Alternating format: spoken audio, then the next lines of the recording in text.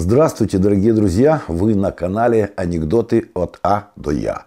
И с вами я, Владимир Ямненко. Начинаем. К лору заходит пациент, снимает штаны и показывает свое опухшее хозяйство. Доктор, глядя на него, говорит, я прошу прощения, так вам не ко мне, э, вам к урологу, а может к проктологу, ну явно не ко мне. Пациент говорит, нет, доктор, к вам. Понимаете, дело в том, что мы каждую субботу уходим в баню. Ну, и там играем между мужиками в такую игру. Э, на кон кладем все свои члены, вот, а один забегает и с молотком.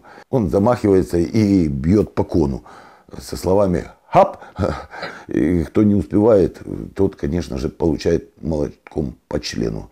Вот и я получил молотком по члену. Говорит, ну, это явно вам не ко мне. Это вам, скорее всего, к психиатру. Говорит, нет, доктор, к вам. Просто слово «хап» я не слышу. Киев. Подол. Объявление. Опытная предсказательница сделает так, чтобы вам улыбнулась фортуна. Мужик заходит и говорит, здравствуйте, вы предсказательница? Говорит, да. И вы точно можете сделать так, что мне улыбнется фортуна? Да, прямо сейчас. Да ладно, я вам говорю. И сколько это стоит? 100 долларов. Мужик достает 100 долларов, говорит, вот. Она говорит, угу, 100 долларов. Фортуна, доченька моя, иди сюда, улыбнись дяде. Средневековье Король уезжает на войну и заказывает для своей жены пояс верности. И вот день настал, надо ему уезжать. Он надел на жену пояс верности, закрыл замок и ключ взял с собой. Войско отошло от замка, и верный слуга обращается к королю и говорит, «Ваше Величество, — я не знаю, вы своей жене сделали пояс верности, закрыли на ключ. Честно говоря, она ж такая страшная, что никто на нее не позарится. Говорит, да я знаю, знаю. Я, когда вернусь, скажу, что ключ потерял.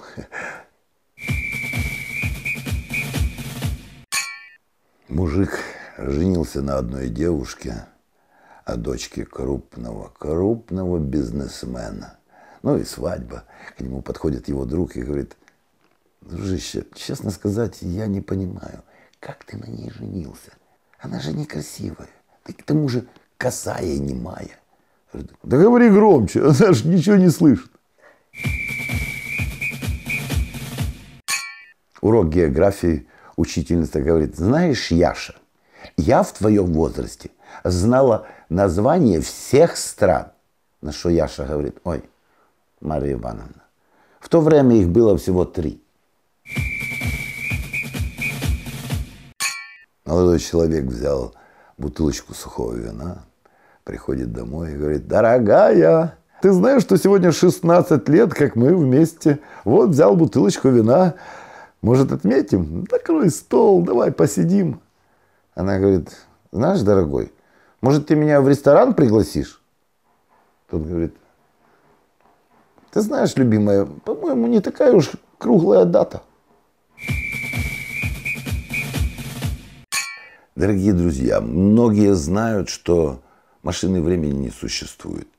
Но я вам скажу, на нашем канале это возможно. Поэтому для постоянных наших подписчиков давайте окунемся в прошлое.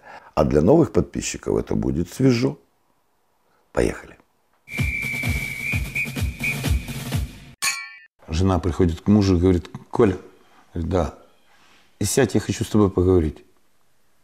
Он присаживается, говорит, ну, слушаю тебя. Говорит, Коля, понимаешь, к нам едет моя мать. Надо ее приютить. Ой, ну сколько ж можно ютить твою мать? Изя в бессознательном состоянии попал в больницу. Очнувшись, он вышел из палаты в коридор посмотрел вдаль.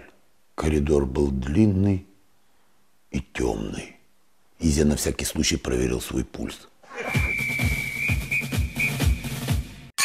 Приходит тупой дебил такой к мудрецу и говорит, здравствуйте. Тот говорит, здравствуйте.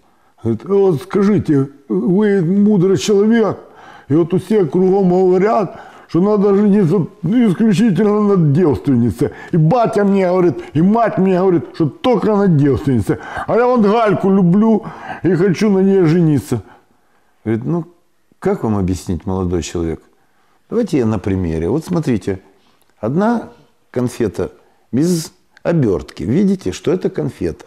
А вот эта конфета, она в обертке. Вот какую вы выберете конфету? Тут смотрит, говорит, ну, конечно, вот та, что без обертки. Это почему? Аргументируйте.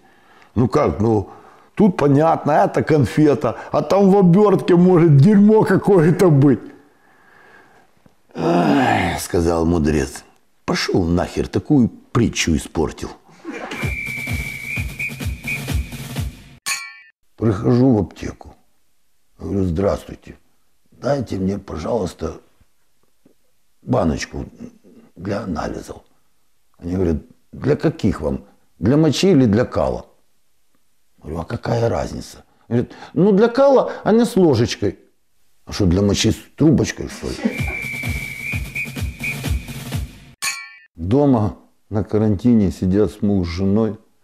И вдруг звонок телефонный. Муж подходит, берет трубку.